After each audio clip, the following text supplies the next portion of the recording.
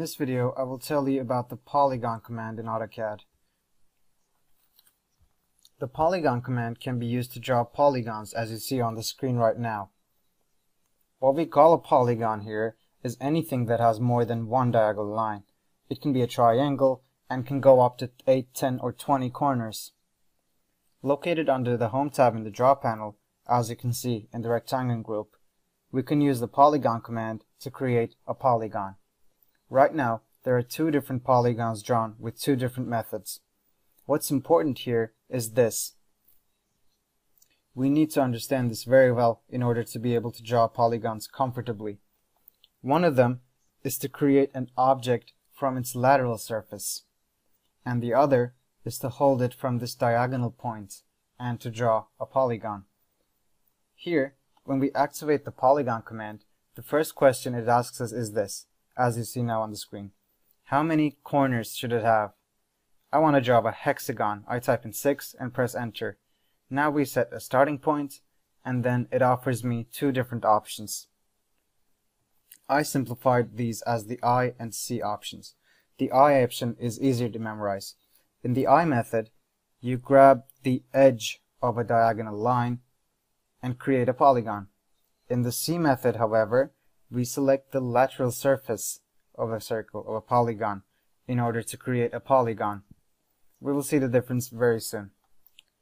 In the I method, as you can see, the edge of my cursor grabs the edge point of the polygon. I need to set a measurement here. For example, I said 150. It's quite small. Let's zoom in.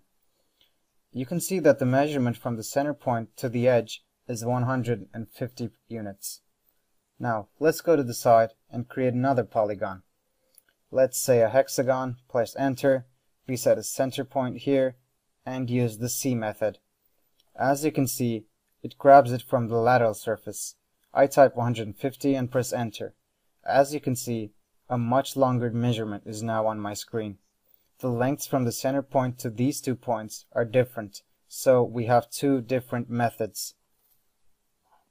Those of you working with machinery and mechanics might understand this as the wrench flat method of the polygon. Here, we can say that the distance to the lateral surface is half of the distance between these two lateral surfaces. So, one of them, as you can see in this method,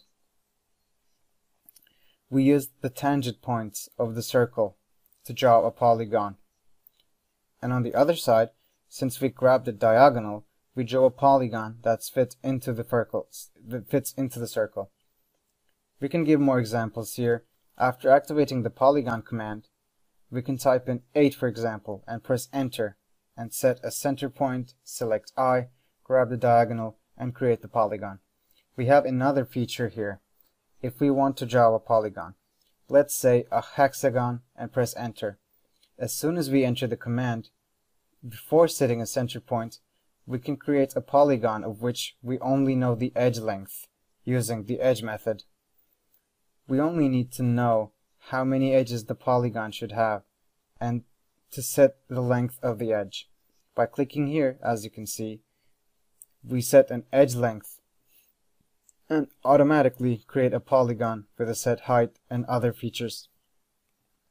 We can access the polygon command by typing polygon into the command bar and after that point we can activate the polygon command. We can create the polygon by using the standard methods. In this video, I told you about the polygon command in AutoCAD. We hope to see you in another video.